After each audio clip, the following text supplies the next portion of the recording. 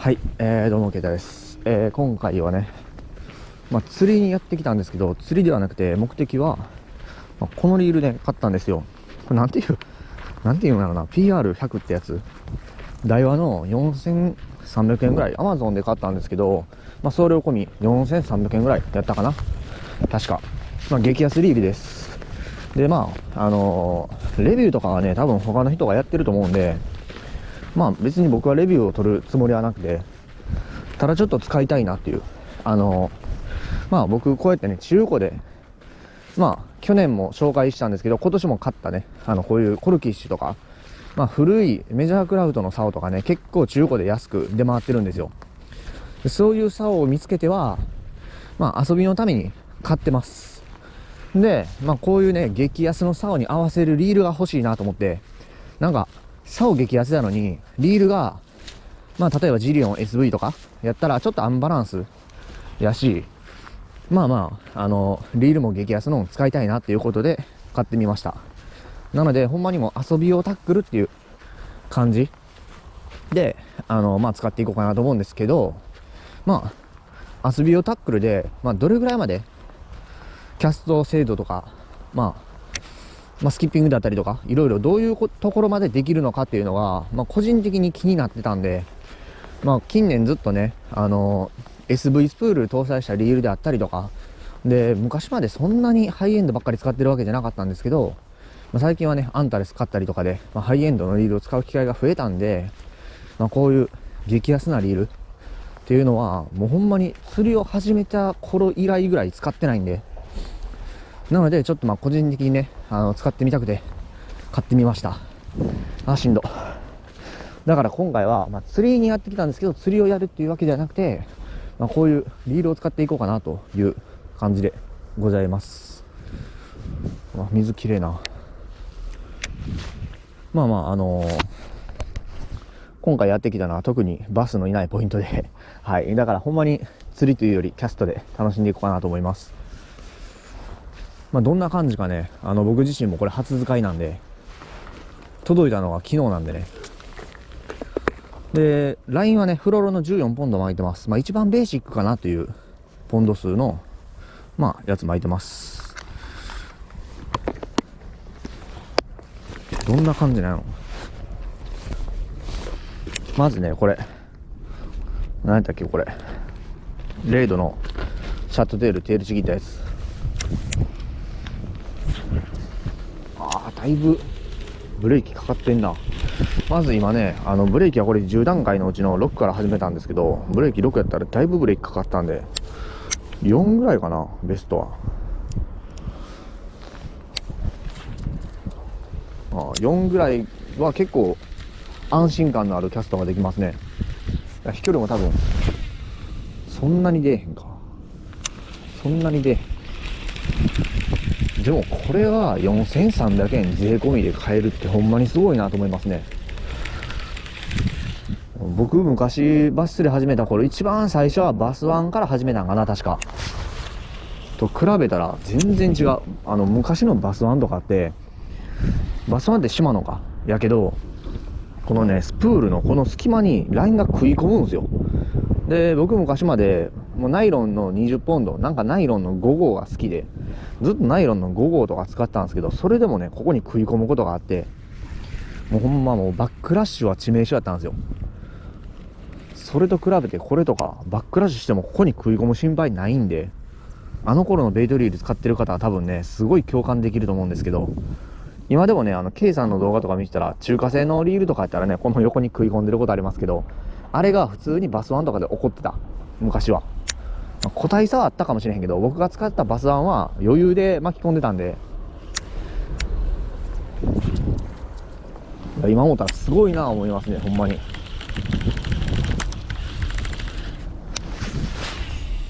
これでメカニカルはあの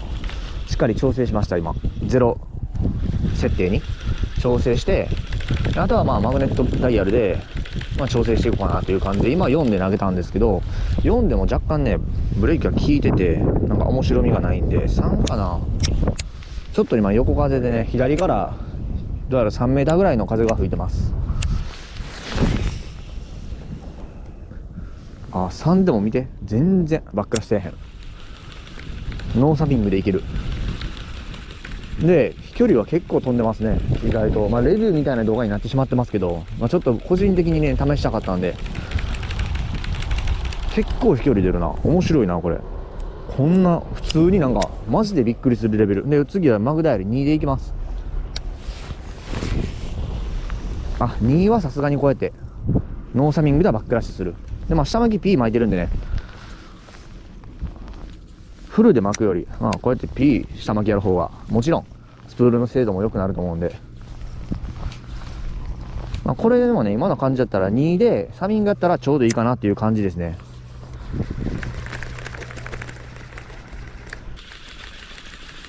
普通に僕が実際に釣りで使う時普通にこう魚を釣ろうとしてる時に使うブレーキセッティングは、まあ、2から2.5ぐらいかな。一応ねあのブレーキこのマグダイヤル10段階って言ったんですけど10段階でもあの0.51 1.52っていう感じでまああの 20, 20段階なんですよ言うたら。なので、まあ、2でだいたい4かな。あの20段階でリールで言うと。だからまあ2ぐらいがちょうどいいかな。普通に捕まえたら、まあ、全然バックラッシュしないですサミングしたら。で飛距離結構飛んでますね。あのマジでびっくりするぐらい飛んでます。普通に、まあ、僕普段ねあのー、ジリオン SB とか使ってるんですけど多分投げ比べてもそんな大差ないというか大差というか差ないんちゃうかなぐらい飛んでます。あのびっくりするぐらい飛んでますね。で今年これをまあ買ったことによってこのタックルちょっとこの遊びタックルで50アップを釣るのを目標にしようかなと思ってるんですけどこれは多分50アップ全然いけるな。全然普通に実践で使えるぐらいなんか面白みがないぐらい性能がいい。マジでビビるぐらい。いやマジで。マジで性能いい。びっくりする。これはほんまにすごいわ。いやもう全然。何でもできるんちゃうかぐらい。すごいな。ミスった今単純にキャストミスった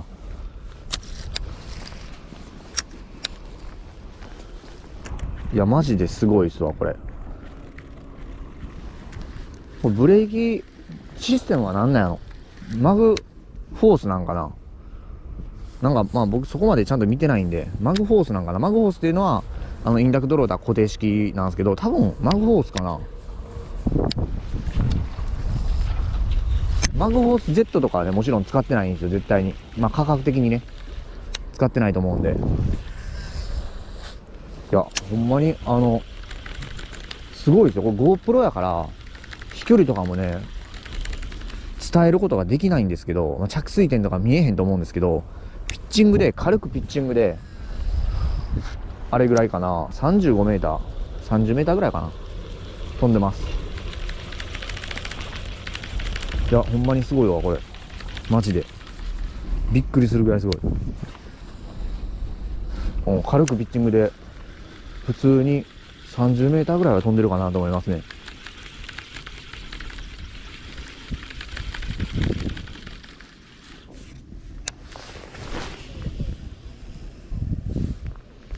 うんこれは普通に使えるなまあ使えると言っても、まあ、使えるのはまあもちろん使えるやろうなと思ってましたけど強度面がまあ心配は心配ですよね。まあ、強度面はもちろん多分ね合成的に言うとかなり弱いとは思うんで、まあ、巻き心地とかはねもう最初から良くはないです、まあ、それは別に価格的にそこんなもんやと思うんで全然悪いところではないですね。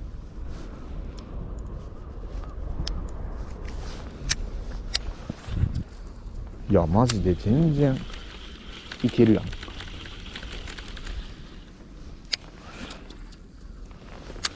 たまにねコメントとかでもあったんですよ。あのスキッピングの動画とかなんか過去にまあ去年とか一昨年とか多分スキッピングの動画上げてないんですけどその前に上げた動画とかでねあのまあいいタックル使ったら誰でもできるみたいなコメントが何件かあったんですよ。いや余裕で4300円で何の不満もないぐらいできると思うんで。とまあこんな感じでまあちょっと遊んでみたんですけど。一回ね試しで軽いものどれぐらい投げれるか投げてみたいなと思います。軽いもの投げにくそうなもの何やろ。沈む虫の2.2かな。これ投げられへん気すんな。さすがに。だってこれ投げれたらおかしいもんな。不利じゃないですよ。いやほんまに投げられへんちゃうかなと思ってますこれは。多分ブレーキセッティングは2やとサミングしすぎてしまうというかあのサミングを余計にせせな投げられへんと思うんでまあそれやったら最初からブレーキをかけてちょっと力強く投げる方がまあこういうちょっとスプールの性能が悪いであろうリールは、まあ、飛距離が稼げると思うんで、僕は結構ね、このマグダイヤルを締めることが多いです。まあ、この、あの、メカニカルは全然いじらないですね、基本的に。で、片手で軽く、あ、めっちゃ飛ぶやん。全然投げれるやん。全然いけるわ。ピッチングが多分厳しいんですけど、ロールキャストやったら低弾道でも投げれますね。ピッチングはね、あの、おそらく浮きます。あ、浮く浮く、無理無理。これは、ブレーキ緩めたらいけるかもしれへんけど、えー、マグダイルは3.5なんですよね、今。3.5やったら、あの、ピッチングは、無理。絶対に浮く。これはもう100%浮きますね。どうやっても。っていうか待って、ちぎれたし。ちぎれかかっとったんかな、多分。こっちから誘う。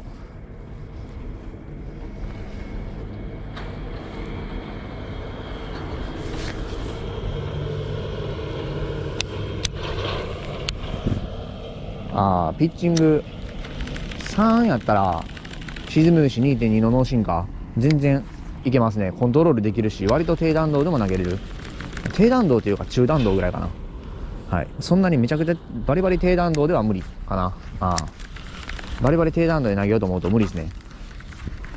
っていう感じ。でこれがマグダより2でやると多分結構ねバックラッシュ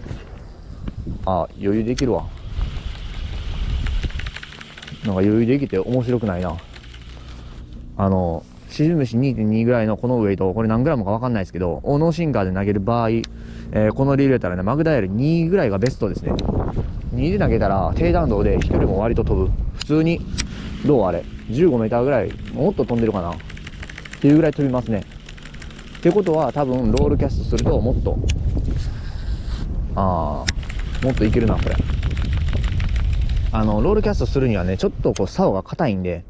あの、これぐらいやったら沈み牛の2.6ぐらいのウェイトがちょうどいいんですよ。だから、ちょっと軽いんで投げにくいんですけど、まあ、タックル的にほんまにアンバランスなんで、投げにくいんですけど、なんとか、そこそこの飛距離は出せますね、ロールキャストでも。普通に投げる分にはもうね、全然いける。これ多分普通にコントロールも割と効かせれるし、マジですごすぎるわいやほんまにすごすぎるわこれビビる